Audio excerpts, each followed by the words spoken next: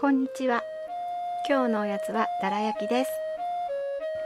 小麦粉で作った生地をだらーっと焼いただけの簡単おやつです。ご注意ください。猫又さんの作るおやつは人間用です。ペット用ではありません。ご了承ください。猫又さんはあまり味付けをしません。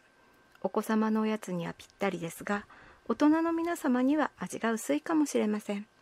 調味料やメープルシロップなどを追加してご自身に合わせた味付けでお楽しみください。材料は小麦粉 150g ぐらい水 150ml ぐらい砂糖小さじ1程度です。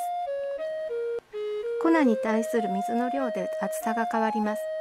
水が多いと薄い生地になり水が少ないとぼってりした生地になります。お好みで調節してください。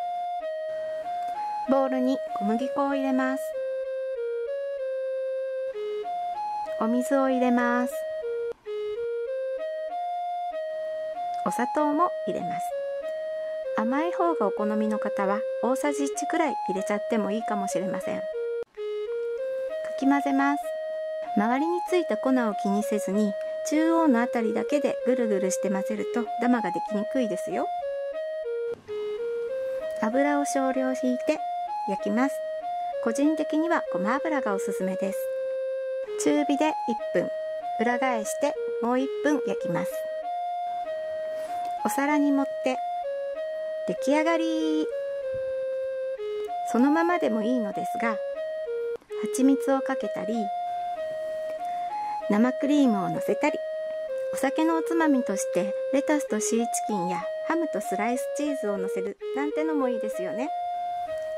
私のはこんな感じ。黒ごまのジャムやベビーフードの野菜ペーストを塗ってくるくるって巻いちゃうんです。こうすると小さいお子様でも食べやすいですよ。よかったら皆さんも作ってみてくださいね。